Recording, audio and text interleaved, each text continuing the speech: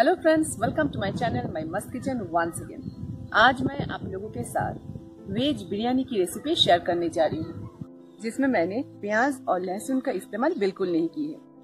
आप लोग सोच रहे हैं, वेज बिरयानी ऊपर से कोई प्याज, कोई लहसुन नहीं है, वो कैसा बनेगा?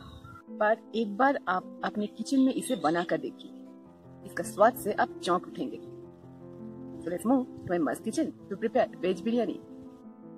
Veg biryani बनाने के लिए मैंने लिए है एक कप बासमती चावल, जिसे आधा घंटा के लिए भिगो के रखेंगे। और इसके साथ हमने करीब 100 ग्राम मशरूम लिए हैं।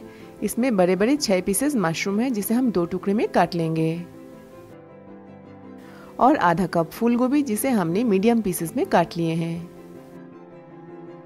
पनीर हमने लिए है 100 ग्राम, जिसे आधा इंच क्यूब्स में काट लिए हैं। और लिए हैं एक बड़ा सा आलू जिसे हमने बॉईल कर लिए हैं। इसे हम चार टुकड़े में काट लेंगे। और हमने लिए हैं आधा कप कैप्सिकम जिसे एक इंच स्क्वायर शेप में काट लिए हैं। कैप्सिकम ऑप्शनल है। और हमने लिए हैं एक कप टमाटो प्यूरी इसे बनाने के लिए मैंने बड़े बड़े दो टमाटर यूज़ किए हैं। बिरयानी को हम घी से बनाएँगे, इसलिए हमने करीब आधा कप घी लिए हैं।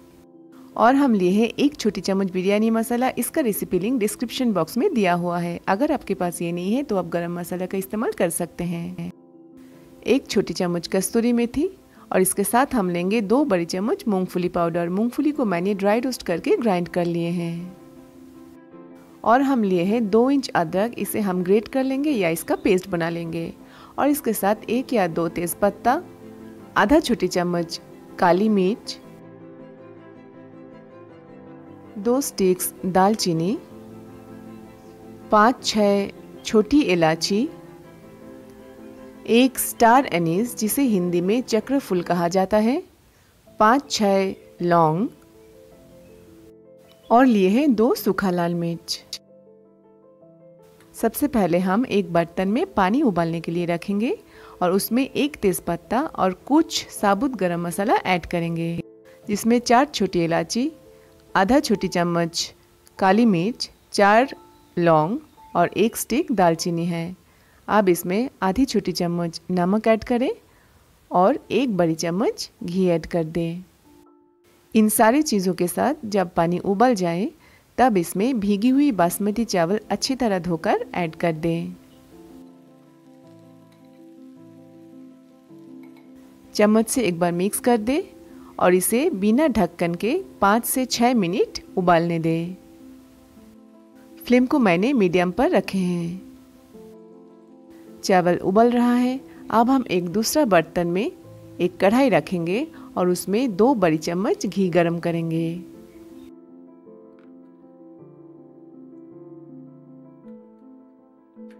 अब इस घी में सारे वेजिटेबल्स, पनीर और मशरूम हम गोल्डन ब्राउन होने तक फ्राई कर लेंगे।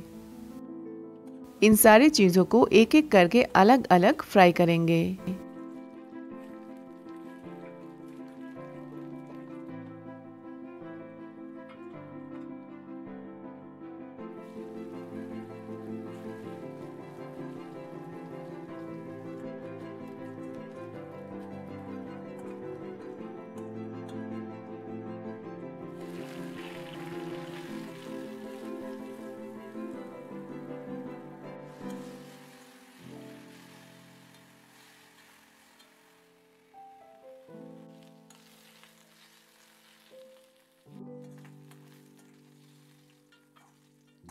ये देखिए दोस्तों, इन सारी चीज़ों को हम गोल्डन ब्राउन होने तक फ्राई कर लिए हैं।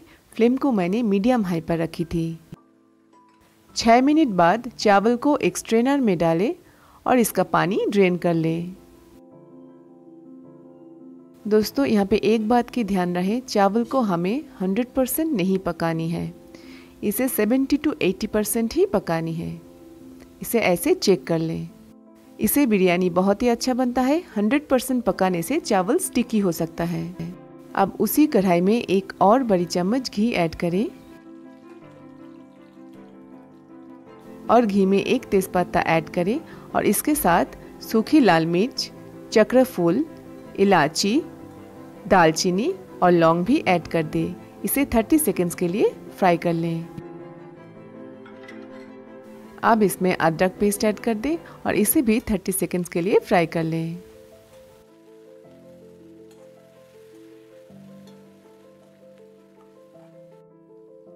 अब टोमेटो प्यूरी ऐड कर दें और प्यूरी को इन सारी चीज़ों के साथ अच्छी तरह मिक्स कर दें।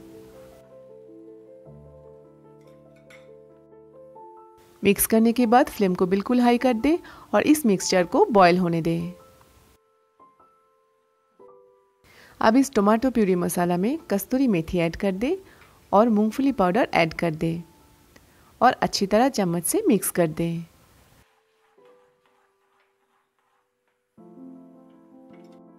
अब स्वाद अनुसार नमक ऐड करें, बिरयानी मसाला ऐड करें और एक और बार चम्मच से मिक्स कर दें।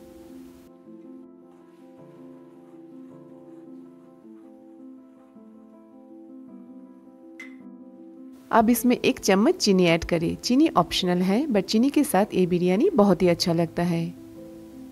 अब इसमें सारी फ्राई की हुई मशरूम कैप्सिकम आलू, फूलगोभी और पनीर ऐड कर देंगे। इन सारी चीज़ों को चम्मच से अच्छी तरह मसाले के साथ मिक्स कर दें।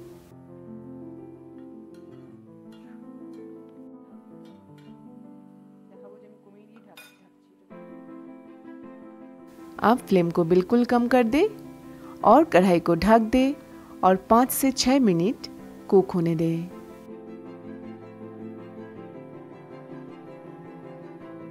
अब एक छोटा सा पैन में एक बड़ी चम्मच घी गरम करें और उसमें दो बड़ी चम्मच काजू और किशमिश गोल्डन ब्राउन होने तक फ्राई कर लें।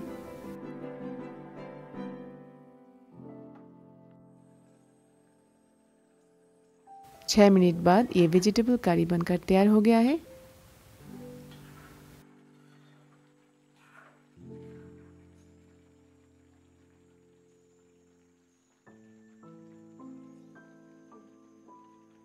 आप गैस को बंद कर दें और कढ़ाई को ढक दें।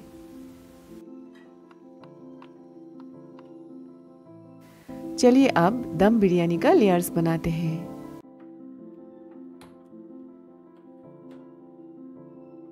इसके लिए एक फ्लैट बेस बर्तन में एक बड़ी चम्मच घी ऐड कर दें।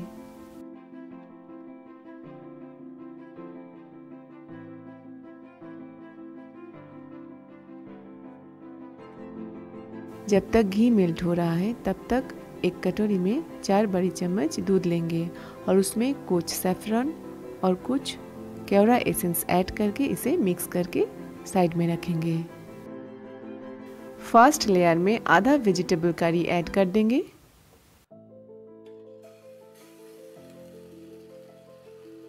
बर्तन की बेस में वेजिटेबल करी अच्छी तरह स्प्रेड कर दें।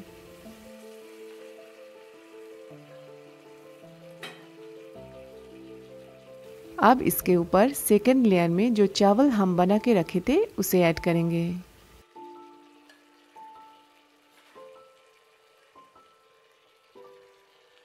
चावल को भी चम्मच से अच्छी तरह स्प्रेड कर दें। अब इसके ऊपर दो बड़ी चम्मच दूध सेफ्रॉन और कैवरा एसेंस का मिक्सचर स्प्रिंकल कर दें। अब इसमें काटी हुई धनिया पत्ता स्प्रिंकल कर दें। उसी तरह हम दोबारा वही लेयर रिपीट करेंगे। पहले वेजिटेबल करी उसके बाद चावल उसके बाद दूध मिक्सचर और उसके बाद चॉप्ड धनिया पत्ता।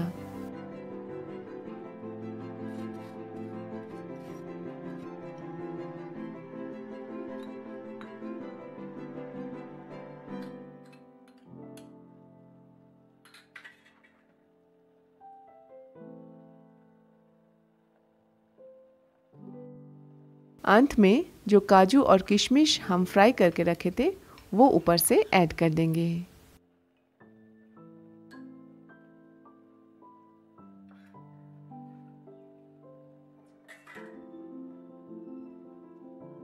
अब ढक्कन को बंद करें और बिरयानी को मीडियम फ्लेम पर चार मिनट दम दें।